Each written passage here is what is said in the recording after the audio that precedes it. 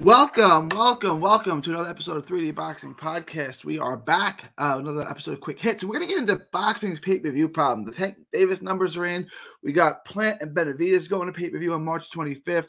Uh, we're going to get into all the issues that causes. But before we do, please like, share, and subscribe. Uh, follow 3D Boxing, all forms of social media. Uh, 3D Boxing, 3D Boxing blog. Um, also, please subscribe to our other channel, Texas Boxing Scene on YouTube. That's Texas Boxing Scene. All proceeds from that channel go to autism research and recovery. Um, all right, let's get into today's show. Um, Tank Davis and uh, Hector Garcia, the, the pay-per-view numbers are in. They're not good. They're 61,000. You know, initially I thought they were going to be low. I'm on Boxing Twitter. You know, Boxing Twitter is pretty live. Um, it, it, it's pretty, you know, pretty on it. I'm thinking this is going to do bigger than that. You know, I, I initially said between 50 to 100,000. Watching, I was like, okay, maybe it does double that. Like it's, it's, it's doing good. Maybe it does 100 to 200. You know, um, the numbers came in at 61. That's not great. Like that is not real good. That's pretty bad. You know, that's Terrence Crawford esque. It's better than Bud.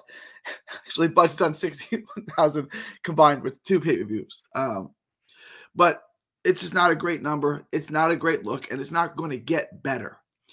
This Plant Benavidez fight isn't going to do better. Charging boxing fans somewhere between 60 and 80 bucks a month to watch good fights is not a great model. Look, Tank Davis is a star. He's a boxing star. He's got everything you'd want in a star punching power, right? Athleticism, personality. He's got everything you'd want in a star. When you hide him behind a 70 or 80 dollar price point, you're not doing him any justice. And I'll, I'll make an example. If the NCAA tournament, right, college basketball is a niche sport, but it has this tournament, right, that kind of garners the attention of the casual fan, this big, big thing. If they put that on pay per view and charge $70 to watch a day of basketball, you got the whole, you know, you got that weekend, right? How many people would buy that? Only hardcores. The people you've already attracted. You're not going to grow the fan base anymore, right? Like if you have hardcore, hardcore basketball fans, they may buy the seventy dollars to watch the tournament for a day or for the weekend, whatever, right? Seventy dollars around, let's say. You're you're not getting the casual fan, thus you're not growing the sport right? You you're not getting anyone, you're not enticing anyone into the sport, and that's boxing's problem, right?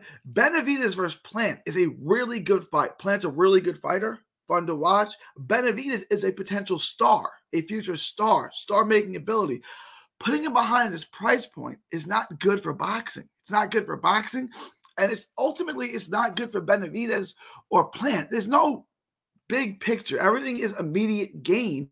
But now these pay per view numbers are so small because you've bombarded the market, you've overflowed the market with all of these pay per views once a month, basically, on fights that are good. But uh, you know, if I miss it, I miss miss it. Like if I miss Terrence Crawford versus Avdija, I don't I don't care, right? Teofimo Lopez versus Sandor Martin, which I thought was a better fight, was on for free. Like, so what, what am I going to watch? A, a free fight I think is better, more intriguing or a, a lesser fight for $70. I think that was $50 for that one. This is not complicated. The same thing. Hank Lundy versus Adrian Broner. I guess I'd watch it for free. You want me to buy that? I, I don't I don't see too many people buying that, even though Adrian Broner is a star. This is not a sustainable model. And and like this once a month thing, it's it's it's gonna destroy the sport sport. They have to get away from the pay-per-view model right? Like put the NFL playoffs. NFL playoffs are going on right now. They draw amazing ratings. Amazing ratings. What if you put them on you know, behind a seventy dollar price point? Well, not, not not not so many people are going to watch it, right? But the reason why football, one of the reasons why football became so popular in just the last thirty years, right? Because remember in '94, it sounds crazy. The NFL was staring at bankruptcy before Jerry Jones, uh, of the owners of the Cowboys, brokered a deal with Fox and got this huge, massive TV rights deal.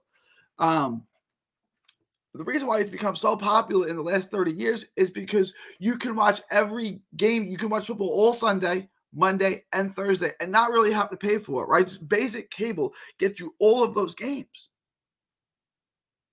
You can watch football. You know, you can watch eight games a week and just have a basic cable subscription. Don't even need HBO shows.